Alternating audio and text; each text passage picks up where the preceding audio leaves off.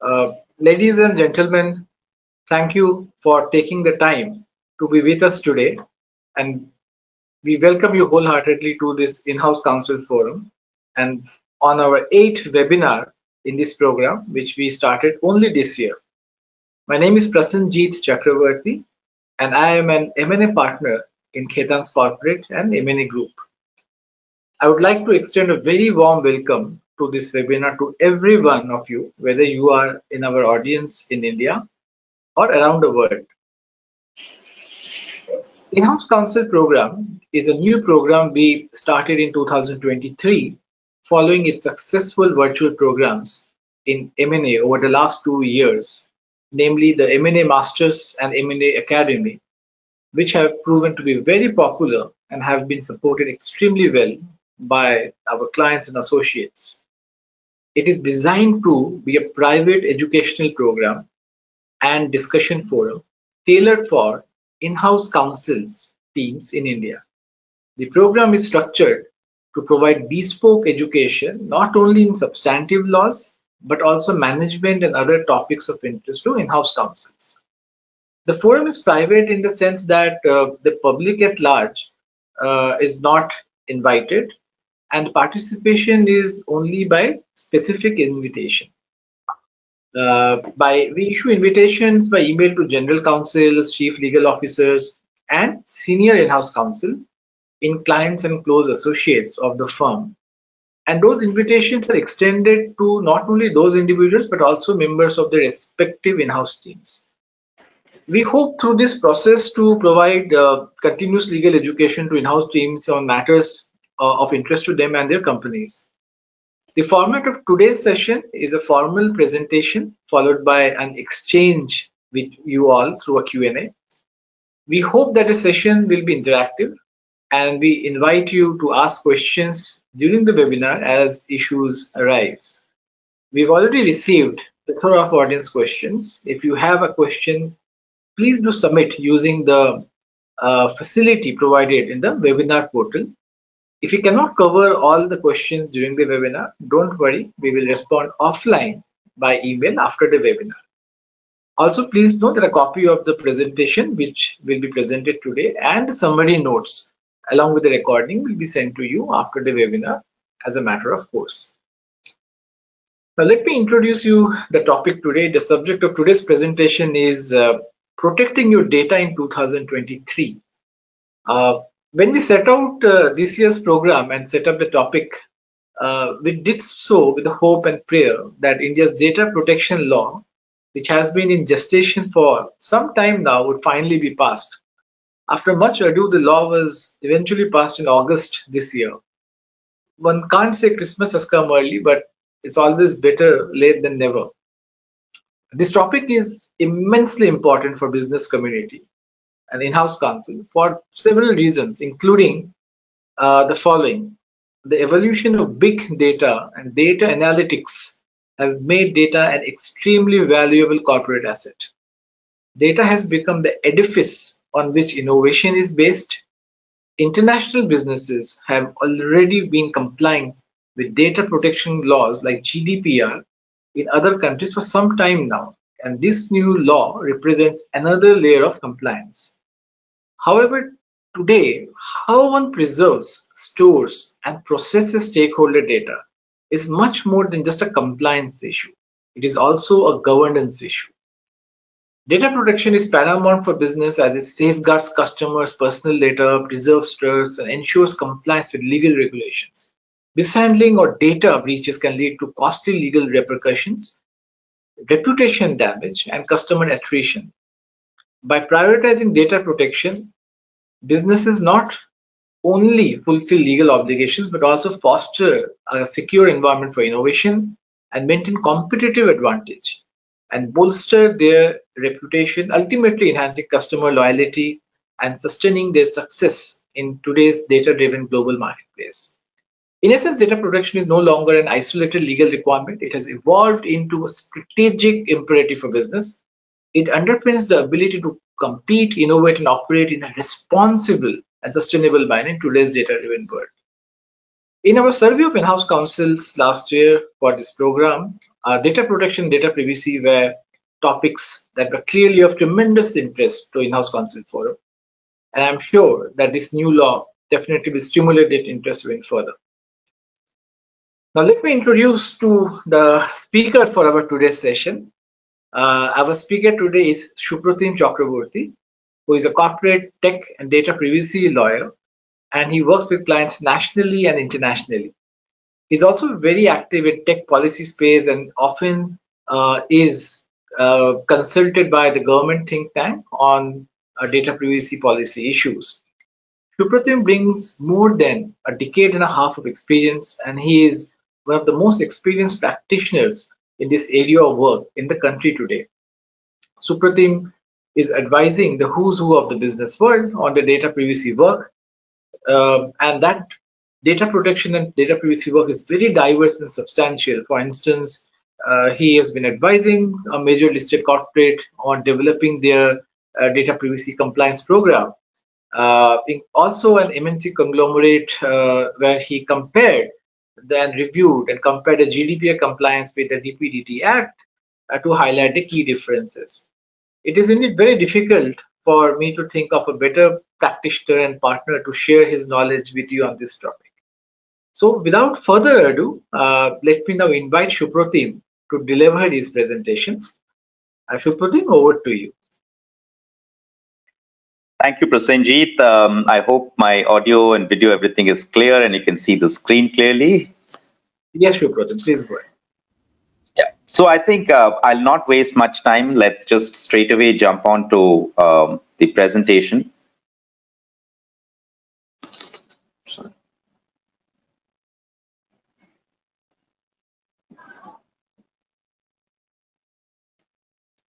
Yeah. So I think before we start, one important aspect is the uh, the definitions, okay, which is uh, the key of uh, I would say the key pillars of this particular uh, presentation as we go ahead.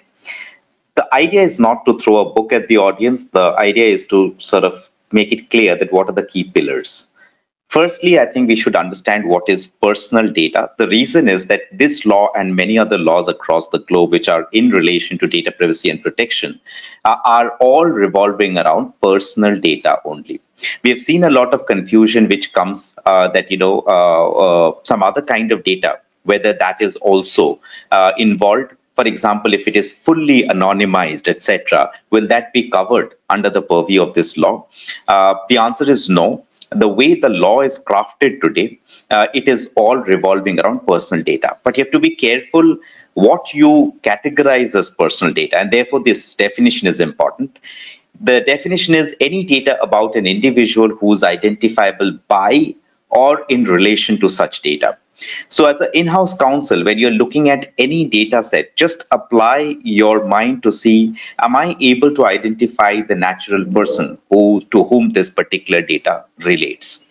The second point is data fiduciary, which is uh, internationally called data controller.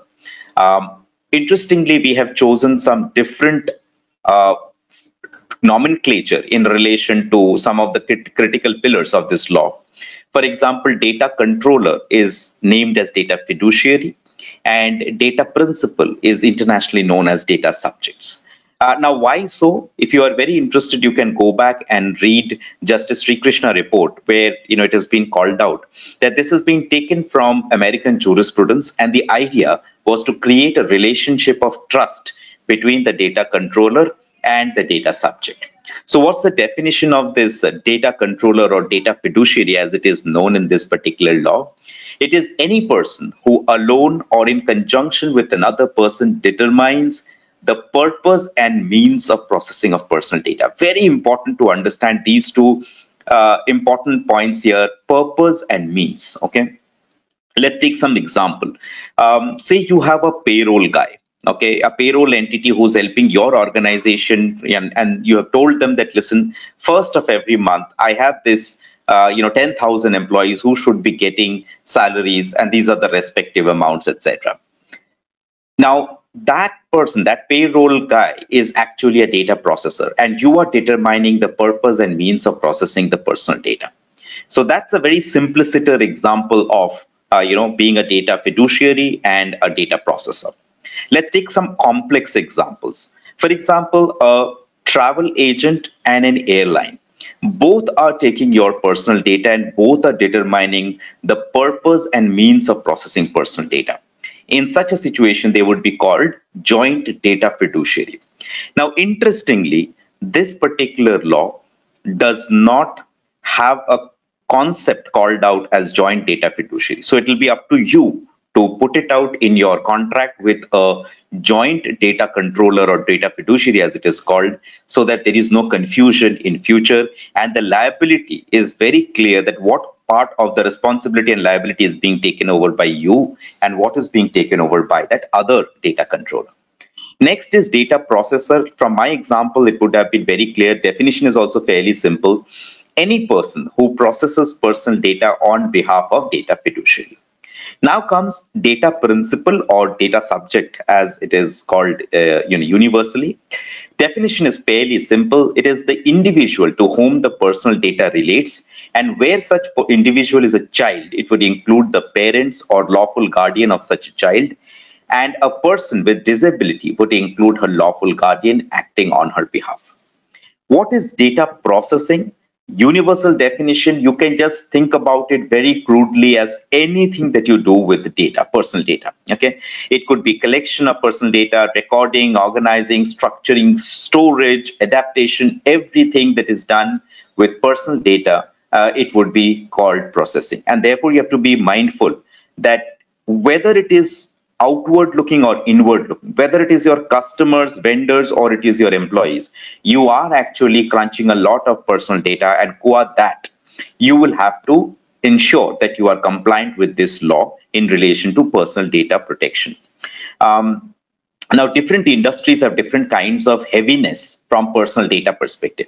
For example a manufacturing company may be heavy on the employee side of data um, personal data handling on when you look at a b2c arrangement or say portals which are handling a lot of end customer related data it could be heavy on the end consumer data handling so on and so forth. So you have to observe and see that which side of uh, you know the personal data handling is heavy for you. Sometimes it may be heavy on both the sides employee and customers. So accordingly you will have to plan your data privacy and protection related program so what are the top eight things that you need to know in relation to uh, this particular law? The first thing is that it covers digital personal data only. So if you write some personal information in a piece of paper, it ordinarily is not part of the law. But if you scan the document and put it in your computer system, network, etc., then it comes within the fold of the law. Second is no non-personal data coverage. So um, uh, thankfully, at, at one point in time, the government had thought to also include non-personal data. It has been now removed, it's a, which is a good thing. Uh, probably in future, you would get to see some kind of, uh, you know, elements of non-personal data related aspects in probably the upcoming Digital India Act, uh, which is in the making, which will replace the Information Technology Act, or some guidelines may also be issued. Um, we are hearing these murmurs uh, right now that this could be the future plan in relation to non-personal data. Next is point number three, which is no categorization of personal data into sensitive personal data, normal personal data, and critical personal data, etc. Mind you that even today under Indian law, there is a categorization of personal data and sensitive personal data under the Information Technology Act and the rules under that. So this will change. It is also quite unlike international laws like GDPR, etc., where there is a categorization of personal data and special categories of personal data.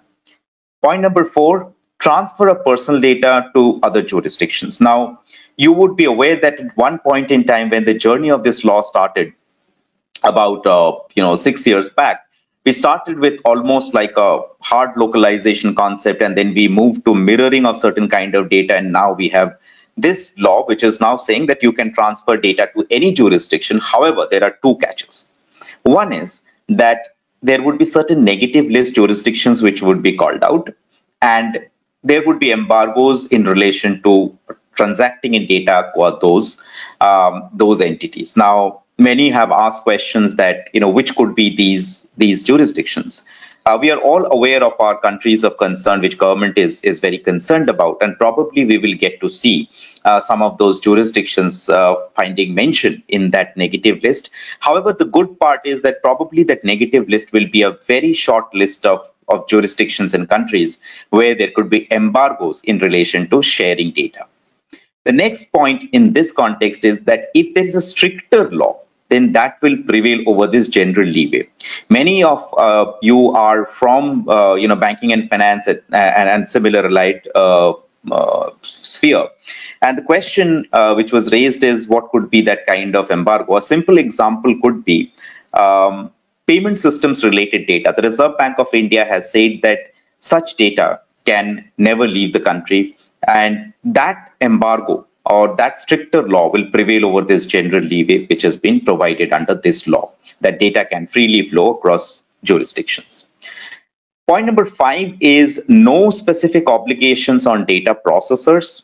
It largely everything has been put in the head of the uh, data fiduciary or data controller as it is known in uh, internationally. So you have to ensure contractually uh, you have to look at all your data controller data processor related agreements and ensure that you are insulating yourself whether you are a data controller or data processor by the way it is agnostic. The only point that i'm trying to make here is that be clear what position that you you are what hat you're wearing. Are you a data fiduciary who's determining the purpose and means of the of the what has to be done with the data or you are a data processor. Accordingly you need to craft and curate your agreement. Point number 6 is handling of children's personal data. Very very important because i think it's a sea change from what we have in india today. Uh, what has been mentioned is that parental verifiable parental guidance uh, confirmation consent has to be taken. Uh, how this verifiable parental consent is to be taken, the government is still mulling over it. You could see things like eKYC, etc., being brought up. There is also bar on targeted uh, advertisement and tracking and monitoring of children. And when you talk about children, you know the age of consent or age of a child is pretty high in India, which is 18 years. Uh, as compared to other jurisdictions, say like GDPR, etc., it is pretty high because in GDPR, for example, it's 16 years. It can go below up to 13 years. Point number seven, data breach reporting. There is no materiality or risk-based threshold which has been given for personal data breach reporting. So in case there's a breach which occurs, and I'll show you the definition which is fairly wide, then you'll have to report it to the um, data subject, to the users, and also to the data protection board. Finally, the there are very very high steep penalties which have been prescribed which can go up to uh, you know indian rupees 250 crore or more which is about 30 million usd or more. Uh, and at one point in time the draft had this upper cap of 500 crore uh, rupees uh, people became very happy that you know that upper cap has been removed. So therefore probably the upper cap is the first one that you see in this schedule of penalty which is 250 crore or 30 million usd uh, that understanding may not be correct because in a particular scenario you can possibly trigger more than one of these buckets. And therefore it could be 250 crore plus 200 plus 200 plus 150 plus 50 much more than 500 crore. Um, Another interesting thing is that this particular law is a little balanced, I would say, because there are certain duties also which has been cast on the data principals or the individuals. So, for example, they cannot, uh, you know, give you false, fake information. Uh, they cannot be starting uh, a frivolous litigation, uh, grievance process, etc. If that happens, then a penalty can also be levied on them. Of course, the amount is small, but uh, nonetheless, uh, which is rupees 10,000. But nonetheless, there is also something against the individual, which is making it a little more balanced. Um, also, you know, there is no compensation provision, so maybe not so good from an individual perspective, but from uh, organization perspective, uh, you may be avoiding a lot of vested litigation for money under this law.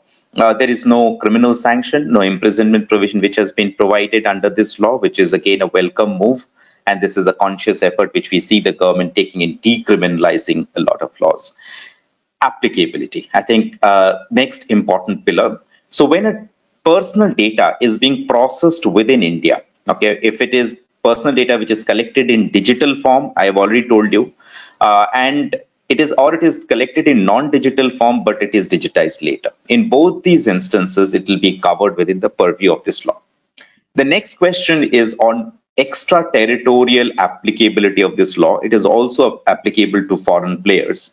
When they are trying to provide uh, goods or services to data principals within india okay? So thankfully that the second element of gdpr which is you know maybe tracking monitoring of, of people within india that is not there. But if you're trying to provide goods or services to data principals or individuals in india then it would be covered there are certain exclusions as well. For example if you are um, if it is for your individual or personal or domestic purposes. For example you create a list of people who are coming for your birthday party uh, in your home laptop or tab. That does not form part of this particular law that can be kept outside. Um, the next is if some information is made public by the data principal himself or herself. For example, if you blog about yourself and you cannot then expect that you know this law will protect uh, so that's outside the purview of the law. Also, if there is any person who is under a legal obligation to put out some information publicly, then that will be outside the purview of this law. Next, I think the two next important things which I'll talk about is notice and consent. You would all be aware that 20th of September, the ministry had a, a Digital India dialogue on the uh, Digital Personal Data Protection Act and its implementation and rolling out, etc. Maybe I'll talk about it in the Q&A part of it. But uh, one thing was made very clear that if there are simple things to be done, like notice and consent and all that, those languages to be changed, etc., you should not expect a lot of time to be given for those. So a request to the in-house community would be that these are low-hanging fruits. You know, if you look at your notice crafting or consent and things like those, you can try and attend to that right now and see that what changes are required. Um, an interesting point on this slide also is that when GDPR came into effect, you must have all received those tons of emails saying that please give us consent so that we can send you marketing, etc. mailers in future. Now, I think we learned our lesson uh, well from there because say if about 500,000 people were sent those kind of mailers, not even 50 reverted back uh, to give consent. So therefore, what happened is this entire database got shrunk into a minuscule uh, number. And this was quite a bit of a difficulty for businesses, marketing teams, etc. So what have we told in relation to legacy personal data in this law? If consent has been taken prior hand under the present regime of the of law that we have today before this law kicks in fully um, we will have to uh, we, we we do not need to take reconsent okay? But we need to send out notices. And what should that notice contain? It should have these four items that you see on your screen which are in in arrow marked form and underlined. Personal data that is collected that was collected basically in the context of the old data. Purpose of collection manner of exercising right of withdrawal of consent and right of grievance redressal by the individual and manner of complaining to the data protection board okay? And that can be sent in any way. You can send it in the in as blast emails as in-app notifications etc so when this law comes into play if you have already taken consent under the old regime this is all that you have to do. Uh, but uh, otherwise also from a notice perspective whatever has to be written this is all that you have to put. Um, Interestingly, you have to provide this in English and you have to give an option to the individuals to also access the notice and the consent related uh, uh, uh, notification in uh, English and in any of the eight schedule of Indian constitution languages of Indian constitution, which is about 22 languages. Now, we believe that this could be a little bit of a difficulty for all organizations to follow and have things written in 22 languages, but probably uh, you know this is what the government uh, really wants because we we kind of we requested the government a number of times but it did not get struck off. So we have to prepare and see whether there are tech measures which are possible and vendors etc which are now coming up. We'll have to try and engage them and see that the notice and consent is translated and kept in in the 22 languages apart from english consent. So I think consent is a very, very important pillar. We should spend little time, at least on the first top left-hand side corner that you see what is written. Consent has to be specific, informed, unconditional, unambiguous with clear affirmative action and limited for specified purpose. Now, the first part of this is almost there in most of the international jurisprudence and, and, laws. And many would be aware of it that okay i need to have a, a no no silence is consent no pre-tick boxes. I need a clear affirmative action for what i'm you know taking consent for etc but there is a very interesting example in relation to the last part which is limited for specified purpose. And this says that you have a telemedicine app and you have given consent for processing of your personal data for telemedicine purposes. That's all fine. But if the telemedicine app has taken consent for the entire phone book of yours that part of the consent is no consent so in future you could have dissecting of these aspects by the data protection board probably and a check being done that whether it is really mapping up to the purpose for which you have taken consent. So one has to be very careful in crafting the purpose aspect of it when you are crafting the consent related request. You have to give an option for withdrawing consent. You have to give details for data protection officer if you are a significant data fiduciary, which I'll come to uh, later uh, or a similar authorized person who has to respond to the communication from data principal who are trying to exercise their rights. The language related uh, requirement I've already talked about. Um, I'll move on to the next interesting point, which is consent manager. Now, let me give you a little bit of a background. When Justice Srikrishna was drafting this particular first draft of this particular law, uh, we went across the country and uh, what we saw is basically uh, consent is basically quite futile in a country like India. Uh, because of such large illiterate population, people speaking varied languages, uh, you know, even the most educated people are not uh, really reading what they are accepting and agreeing to. So various concepts were thought of as to how do we make this more meaningful. And what we saw is that um, probably it's good that we have a, a, service provider of sorts, very crudely speaking, of sorts in, in between, uh, to whom the individual can state that, listen, um, I'm going to, uh, uh I'm okay to give my consent for ABC, but I'm not okay to give my consent for XYZ. Okay, and that person in between basically takes care of these asks. Um, how? So what's written in this law is basically this this consent manager has to be a uh, you know that middle person who will help in giving managing reviewing and withdrawing consent it has to be done through an accessible transparent and interoperable platform and this entity has to be uh, registered with the data protection board coming to the next pillar of this presentation which is other legitimate other grounds of processing. Now just to keep it very simple consent is only one ground of processing okay? There can be many more. Unfortunately under indian law today it is only consent. So when you look at the other grounds of processing internationally you would find many examples. One of them could be medical emergency which you see in point number three. If a person is dying you would not first show that person notice and then take out the consent and say first sign then i will take you to the ot uh, for operation etc that's not the case. So you have to have that other ground of processing now, in the commercial parlance, I think two important things. Point number one and point number two is extremely important for in-house counsel. The first one is for specified purpose, for which the data principal has voluntarily provided the personal data to the data fiduciary and in respect of which the person has not indicated that the person does not want the usage of that data. Okay, very simple example I think we can pick up. I love the one which was there in the previous bill. You are roaming around in a mall and you go to a restaurant there and say, listen, I want to sit down for my dinner. And they say, sir, all um, tables are full. But uh, once the table is available, I will give you a call. Please give me your phone number. So you give your phone number.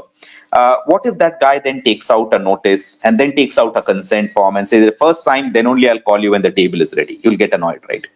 So therefore, this particular avenue of for specified purpose is very important. So although there is no notice of consent, you know that the person has given that consent for that purpose. Okay, and it is okay to call that person without taking a specific consent in writing, etc. But if that restaurant person then puts this phone number, gives this phone number to the marketing guy of his organization and say, listen, tomorrow onwards, whatever restaurant offers are there, please start bombarding this person, that would not be permissible. Okay. Of course, there are ways and means of doing you know such kind of marketing activity. Say after the person has had his food you get a tab which says that are you satisfied? Here's your rating. Can you give some more details? Can we send out marketing mailers? You specifically take consent. So you can be very smart about using this avenue and but be careful that it has to be voluntarily given and that the person can say no in a future date the second point is again very important, which is employment purposes. For employment purposes and for safeguarding the employer from loss or liability, uh, such as say maintenance of confidentiality of trade secrets or intellectual property, etc., you can always uh, sort of um, you know utilize that as a ground for processing without taking consent uh, for everything you know cctv camera monitoring could be a very classic example for this. Uh, so all these now have a separate ground for processing. And for all these elements you need not specifically hello? Can you hear me? Yes sure bro. We can hear you. Please go. oh sorry. So you know you need not uh, then specifically take consent moving on so what are the rights of data principals? You know this law as you can understand that uh, you know gives a lot of rights to uh, the individuals and these are right to uh, access the information about the personal data. They can come knocking at your door whether it is your employee or your customer. They can say listen what data do you have about me? Then you have right to correction and erasure right of grievance redressal and right to nominate in case of death or incapacity you'll have to provide for these avenues for individuals the next uh, pillar is significant data fiduciary. People are quite sort of disturbed about this that do I fall within this category or not, etc. So this law interestingly creates two categories. Okay, one is normal data fiduciary, one is significant data fiduciary, which is a normal data controller and a significant data controller. And how do you become a significant data fiduciary? The thumb rules have been given right now, which categories will fall under this categories of in industries will fall under this have not been called out. It will be called out in future.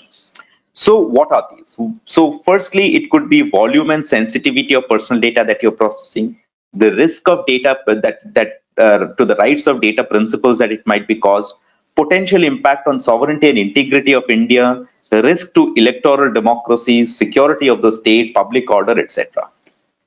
If you become a significant data fiduciary, then what has to be done? you have to have a data protection officer who's based in India. You have to appoint an independent data auditor and you have to undertake data protection impact assessment and also periodic audits. This is what I was talking right at the beginning in relation to personal data breach. Okay, if you look at this, the definition is fairly wide.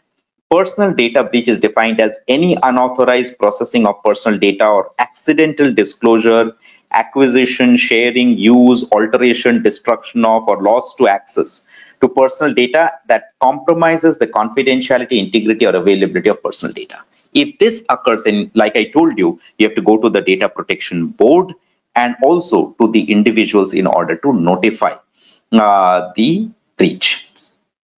There are certain exemptions which have been provided under this law. I'm not going through all of them. I think for commercial requirement, two or three of them are really very important. Uh, first one is outsourcing. Okay, in an outsourcing scenario where the processing of foreign individuals' data is taking place in India uh, under a contract, you get large exemptions minus data security related aspects. Also, if there is a merger acquisition which is taking place, which is approved by court or tribunal or other competent authorities, say a scheme of amalgamation, etc., uh, under NCLT, etc. In those cases only, you will get exemption.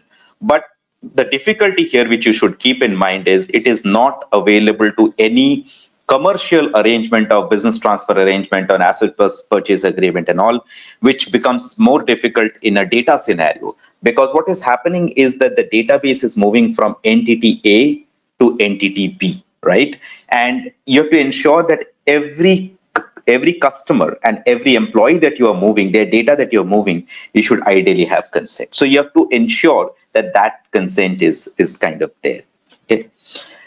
Grievance redressal, I think it's a tiered approach and it's also a very balanced one. An individual mandatorily has to go to that company, that organization, which is a data controller or data fiduciary, as it is called under this law, and they have to complete the process there or if they have not heard etc then you can go they can go to the data protection board of india after data protection board they can go to the tdsat which is a telecom dispute settlement and appellate tribunal within 60 days and then the last one is uh, to the uh, appeal list to the supreme court there are also avenues in relation to mediation and if the matter is very small uh, then a voluntary undertaking can also be taken and matter can be closed out there has been a lot of requests from all of you in relation to these differences between our law and GDPR because I can completely understand that many of you may be already GDPR compliant or you are in the journey of being GDPR compliant. So therefore you would like to know what are the differences.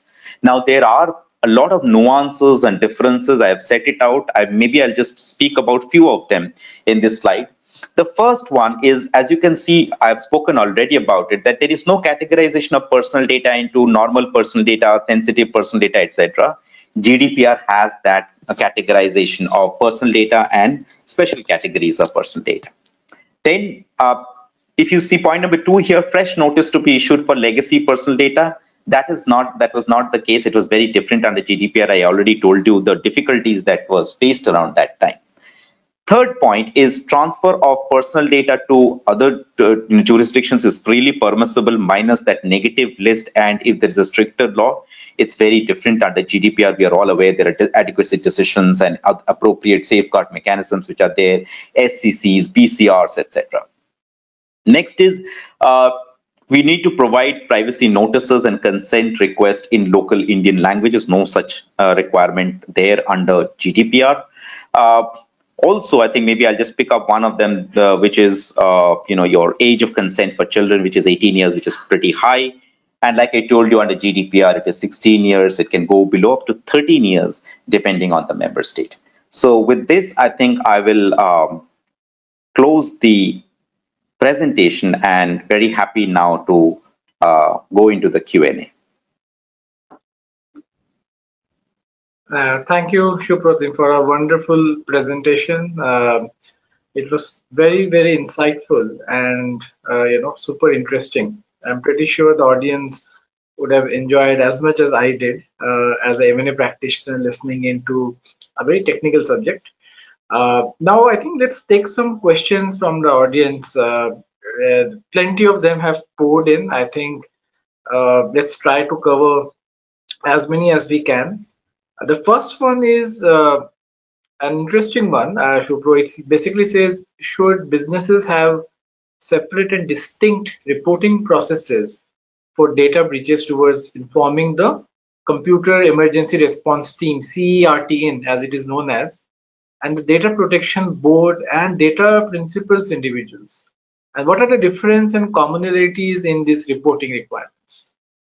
Okay, excellent question, I think. And, and this is a good one because many are uh, kind of having a confusion in relation to data breach reporting. Uh, let me sort of firstly tell you the thumb rule of difference, okay, between the two. CERT-in, Computer Emergency Response Team of India, has a six hours data breach reporting requirement for cyber incidents. This law is in relation to personal data and therefore personal data breach related reporting has to be done. Now, in many of the cases, this could be similar. Okay, when you have a data breach, you could have personal data involved and therefore you'll have to do a reporting. But again, please understand the fundamental difference. The CERT in is looking for cyber incident related reporting. The data protection board would be looking for breach reporting in the context of personal data breaches. However, in reality, in practical life, you could have a situation where most of the cases is the same. Okay, you have a breach and there is personal data involved. Now, how do you handle this? To my mind, you can have a unified protocol which which can be there and have a playbook which is kind of there pre-understood by your ecosystem and the people who would be handling things. In a bad day, it is very difficult to you know figure out that who should be handling what especially when the requirement is say of six hours breach reporting. How are people doing it right now under the present regime of CERT in is like this. Uh, uh, we at least recommend to our clients that if you are quite sure that it is a reportable incident, then ensure that you do an interim reporting. At least whatever is available to you within that timeline, give that. Because people are getting show cause notices if they are not reporting within six hours. By chance, if you have breached that six hour breach, the reporting requirement, then ensure that you, when you're reporting it, you have uh, provided justification for the delay. Okay? And again it cannot be too delayed. That has been our request. Um, now when you talk about the upcoming law which will be the personal data protection act and you have to if there is a breach personal data breach then you have to also report to the data protection board and to the individuals who are impacted. In such a situation uh, the timeline has not been sort of called out yet.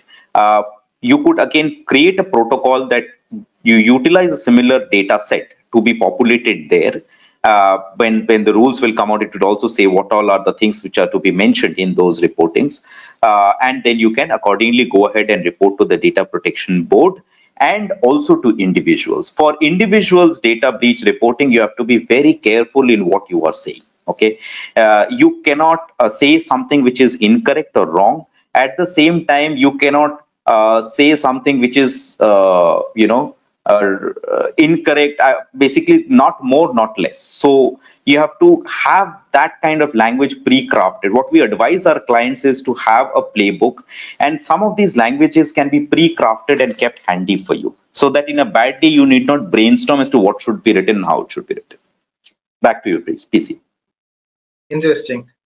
Uh, second one this is from uh, Yavar Usmani from Stella Apps. A very pointed question, a rudimentary one what is the date the DP DPA becomes effective and applicable?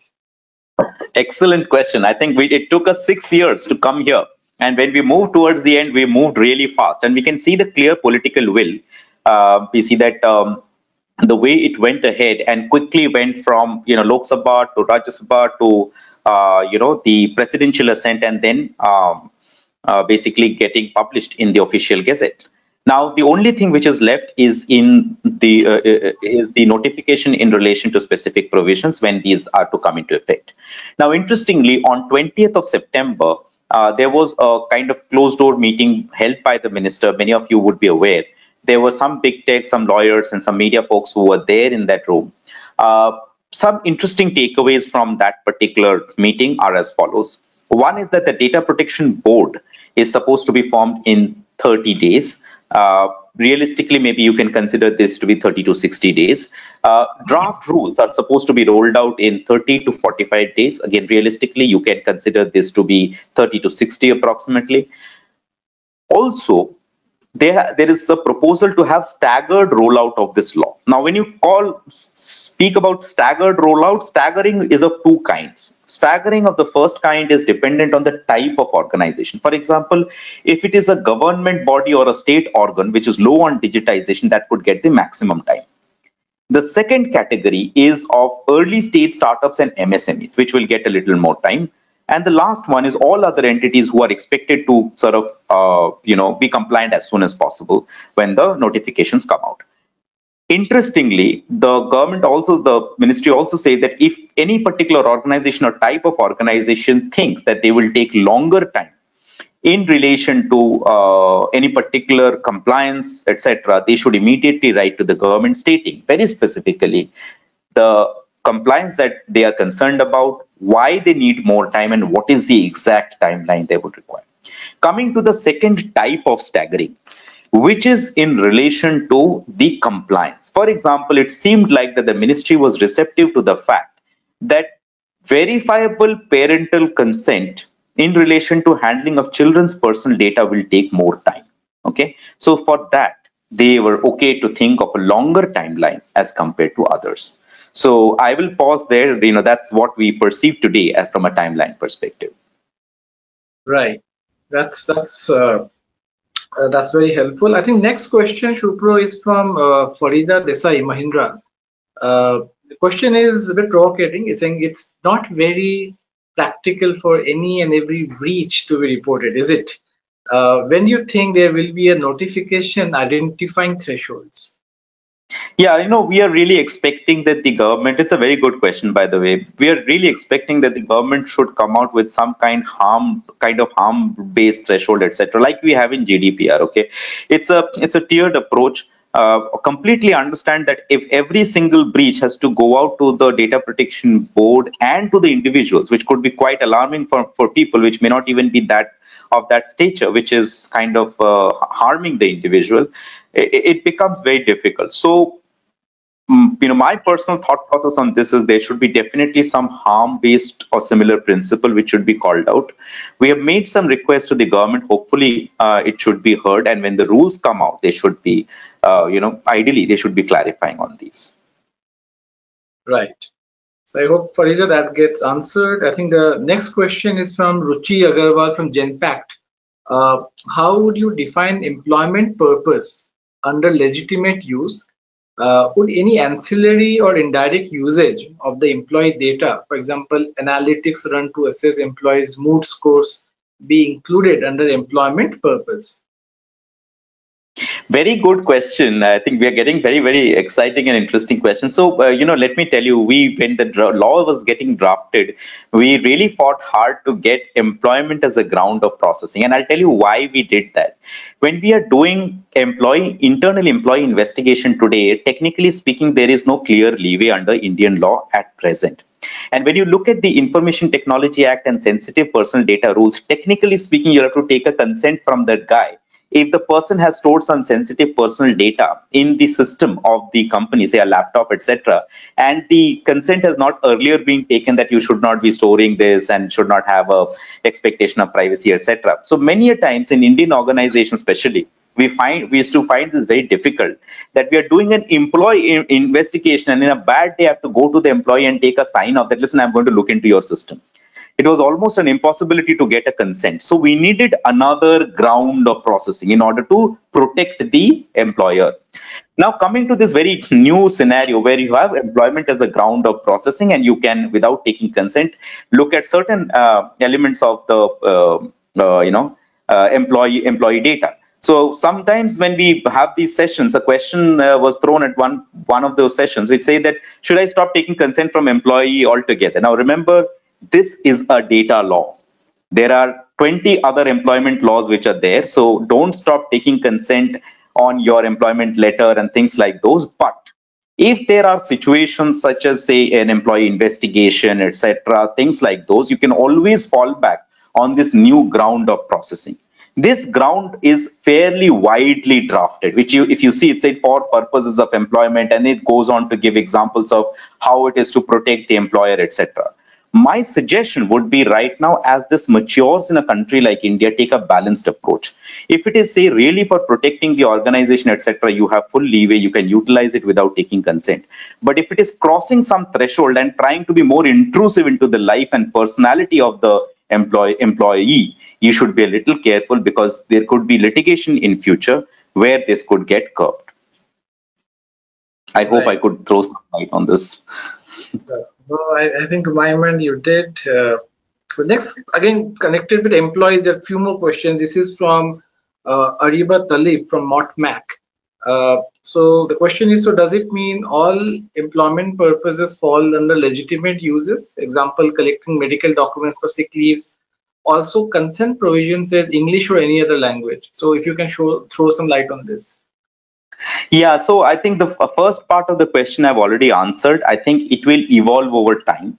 But if there are genuine aspects which are pertaining to employer employee relationship and it is not required under any other law to take a specific written consent of sorts i think you can utilize this but please ensure that you don't cross the threshold of getting more intrusive than it is required considering an employer-employee relationship. The second part is that in relation to notice and consent, etc., being provided in English, and an option being provided to the individual to access it in any of the uh, other 22 languages as, as set out in 8th schedule of constitution my recommendation would be that you should prepare um, that at least some of those common languages which could be you know there's a hindi etc which could be specifically requested in a particular jurisdiction you prepare for that.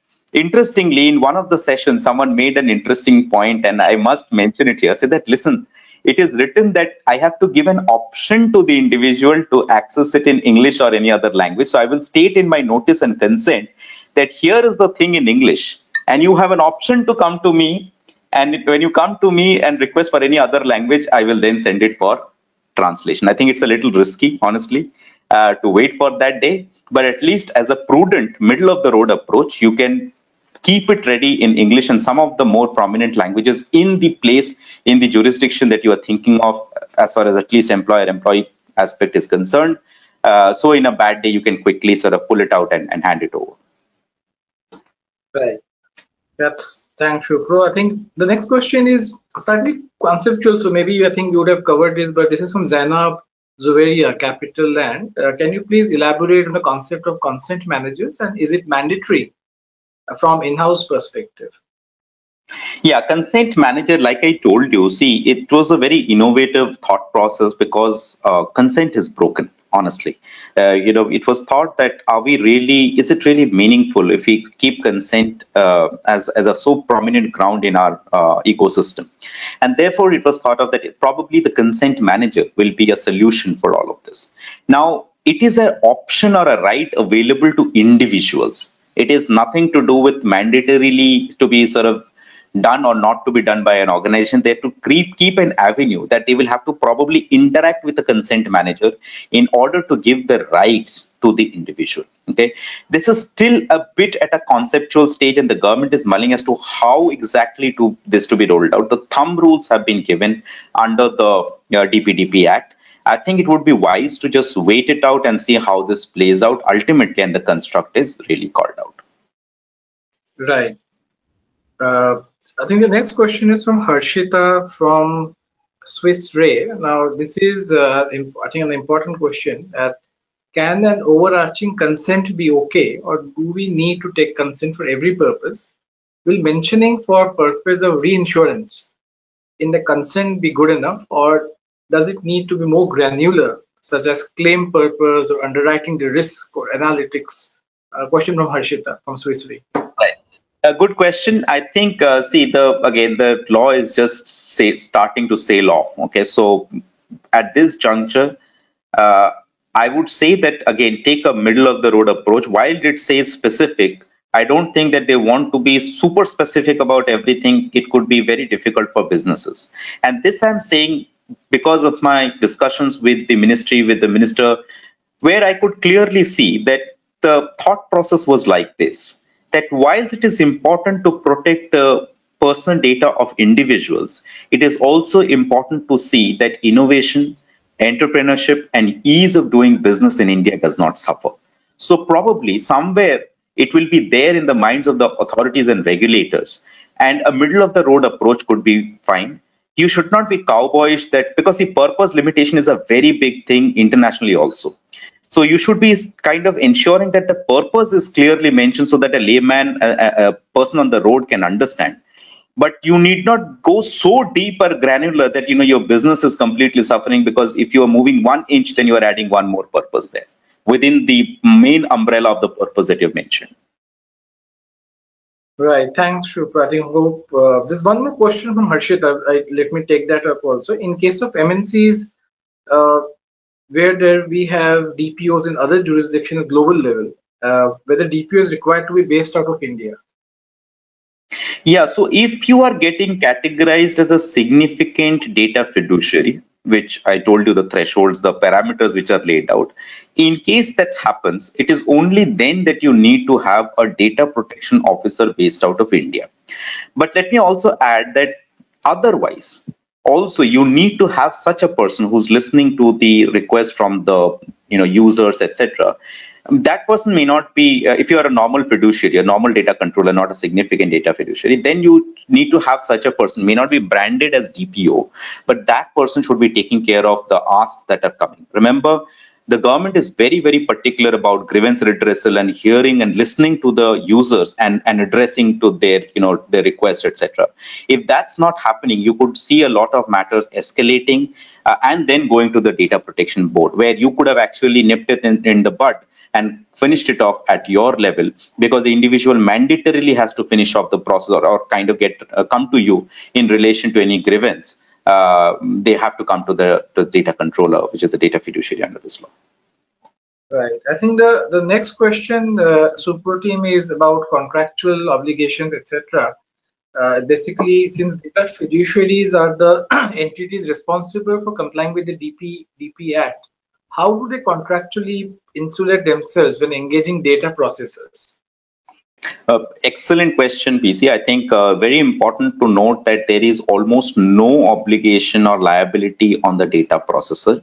So data controller has to contractually understand and backstop it any any responsibility liability through the agreement most of the indian contracts we see don't call this out very clearly so it is important that you go back and check all the controller processor related arrangements and see that uh, what will work for you are particular processor. If it's a small say i was just giving my example say that data processor who's a payroll guy. Say it's a very small player and you have some 2 lakh employees whose data is you know by the by getting processed through them.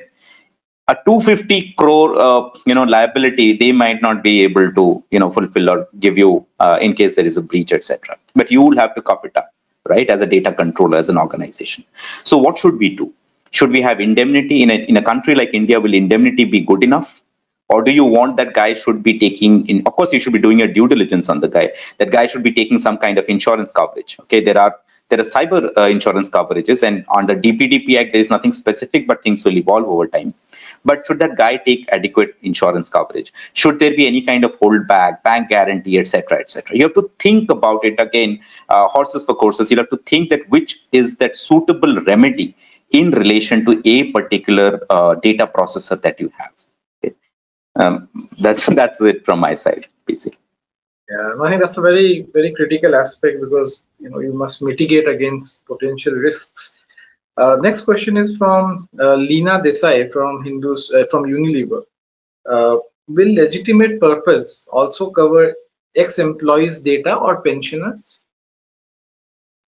Um, again, so this avenue is evolving. Okay, um, you could uh, stretch possibly the argument to cover these, but uh, request would be to watch out how this nice avenue of employment as a ground for processing evolves over time. And what all gets covered? You know some people have started asking that i i am doing um, a background check on a prospective employee. Will that be covered? Now that would be a little risky to my mind because uh, if you look at the way it is written right now uh, you might have to wait and see if it can get such a wide coverage. And if not then for that uh, say a, employee, a person who's not yet an employee it could be so that you have to fall back on consent as a ground.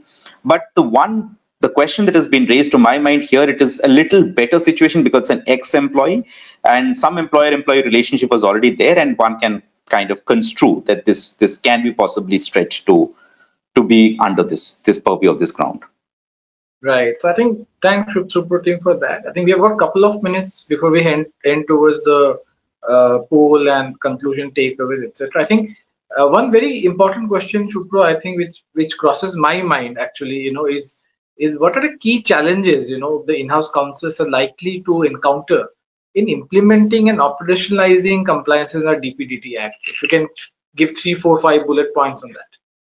Yeah, I think, see, the first thing is, which I'm observing for in-house counsel is whose baby it is. Should IT be called? Should HR be called? Etc. Etc. right? So what we are observing in the Indian context is uh, probably the IT and the legal team have to take some kind of a leadership role. If you have a privacy team, nothing like it, etc.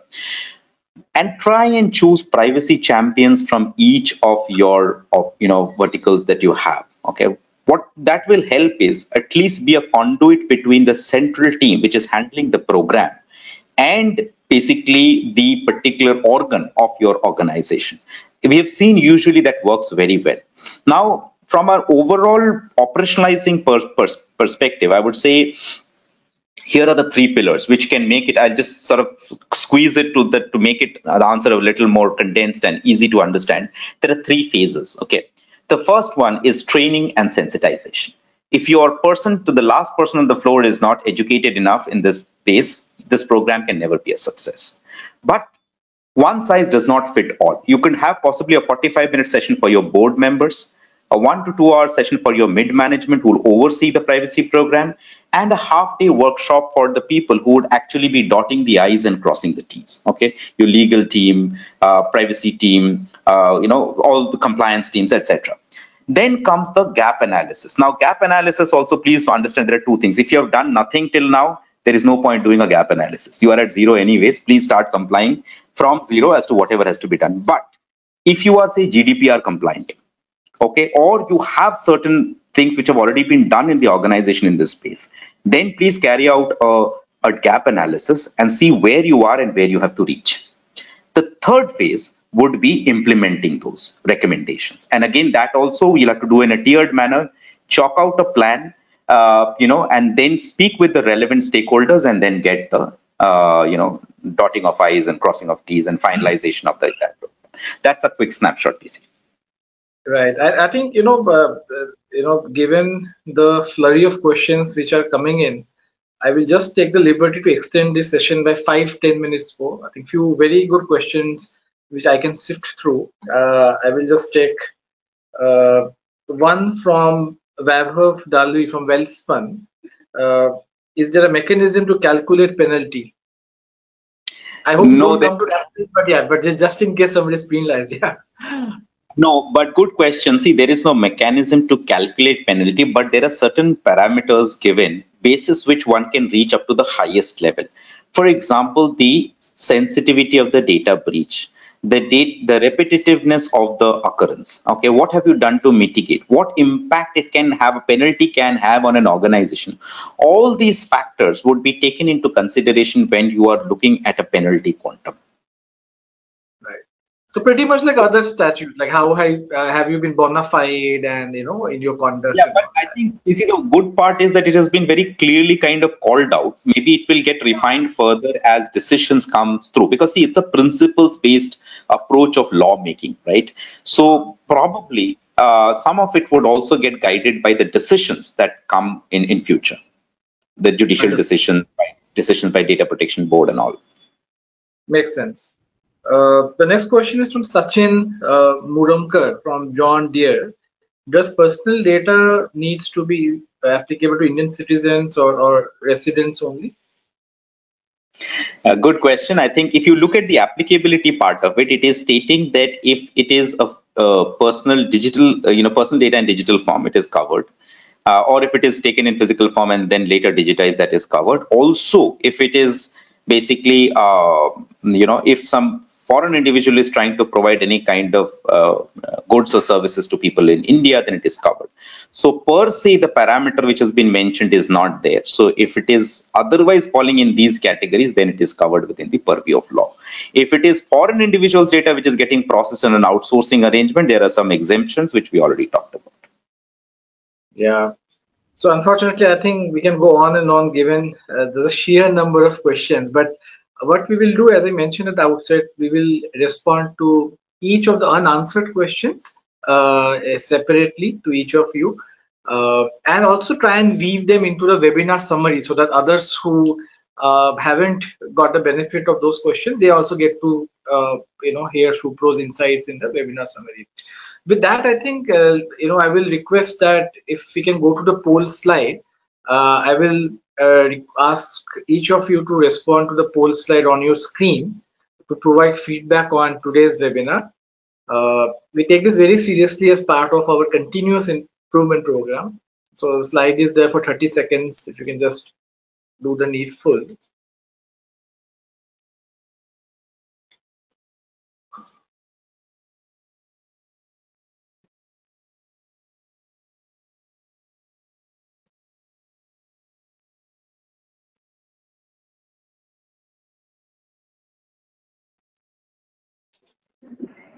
Thank you. I think so. With that, I think we, let me just conclude by firstly thanking everyone who participated in this poll.